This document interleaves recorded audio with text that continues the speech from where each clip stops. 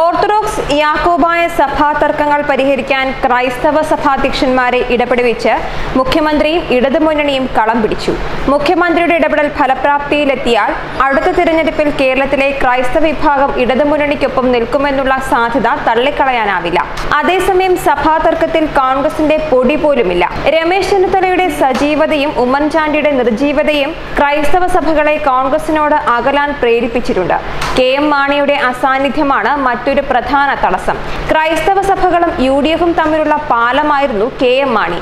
ചെങ്ങന്നൂർ ഉപതെരഞ്ഞെടുപ്പ് സമയത്ത് തന്നെ ക്രൈസ്തവ സഭകൾ യു ഡി എഫിനോട് അകന്നിരുന്നു. സഭാതർക്കത്തിൽ മധ്യസ്ഥത വഹിക്കാൻ തയ്യാറാണെന്ന് വിവിധ സഭാധ്യക്ഷന്മാർ ഓർത്തഡോക്സ് യാക്കോബായ സഭകളെ അറിയിച്ചിരുന്നതായി വാർത്ത വന്നതിന് പിന്നാലെ മുഖ്യമന്ത്രി അതിനെ സ്വാഗതം ചെയ്ത് രംഗത്തെത്തിയത് ഇതിന്റെ ഭാഗമാണെന്ന് അറിയുന്നു. സഭാതർക്കം പരിഹരിക്കാൻ സർക്കാർ നേരത്തെ തന്നെ ശ്രമിക്കുന്നുണ്ടെന്ന് മുഖ്യമന്ത്രി പറഞ്ഞു.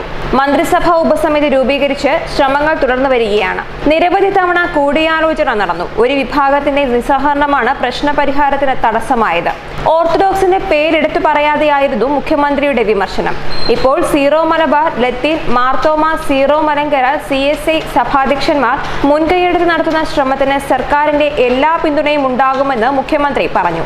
ഇങ്ങനെയൊരു നീക്കത്തിന് തയ്യാറായ എല്ലാവരെയും അഭിനന്ദിക്കുന്നു. ഈ നീക്കത്തോട് രണ്ട് വിഭാഗവും ക്രിയാത്മകമായി സഹകരിക്കണമെന്ന് മുഖ്യമന്ത്രി അഭ്യർത്ഥിച്ചു.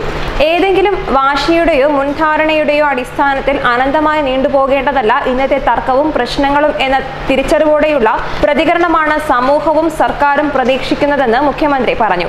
യാക്കോബായ സഭ മുഖ്യമന്ത്രിക്കും ഇടതുമുന്നണിക്കും അനുകൂലമായാണ് നിലകൊള്ളുന്നത്. സെക്രട്ടേറിയറ്റ് നടയിൽ അവർ നടത്തുന്ന സമരം പരിഹരിക്കാൻ മുഖ്യമന്ത്രി ശ്രമിച്ചതാണ്. യാക്കോബായക്കാരുടെ ശവസംസ്കാര ചടങ്ങുകളിൽ ഓർത്തഡോക്സ് വിഭാഗം സ്വീകരിക്കുന്ന എതിർപ്പ് പരിഹരിക്കാനാണ് മുഖ്യമന്ത്രി ശ്രമിച്ചത്. എന്നാൽ അതിന് ഫലമുണ്ടായില്ല. അതോടെ ഓർത്തഡോക്സുമായി മുഖ്യൻ തെറ്റി. മനുഷ്യാവകാശ കമ്മീഷന്റെ ഇടപെടലും ഓർത്തഡോക്സ് സഭയ്ക്ക് അനുകൂലമായി തീരുകയാണ് ഉണ്ടായത്. അതിനിടെ ചർച്ച് ആക്ട് നടപ്പിലാക്കി പള്ളിവക സ്വത്തുക്കൾ സർക്കാർ ഏറ്റെടുക്കണമെന്ന നിർദ്ദേശവും അണിയറയിൽ സജീവമാണ്. പള്ളി സ്വത്തുക്കൾ സർക്കാർ ഏറ്റെടുക്കുന്നതിനോട് എല്ലാ വിഭാഗവും എതിരാണ്. അങ്ങനെ ഒരു സാഹചര്യം ഉണ്ടായാൽ വിവിധ സഭകൾ ഒരുമിച്ച് നിൽക്കും. അതിനാലാണ് ചർച്ച് ആക്ടിന്റെ കാര്യം സർക്കാർ ചർച്ചയാക്കി നിർത്തുന്നത്. ന്യൂസ് ഡെസ്ക് മലയാളി വാർത്ത.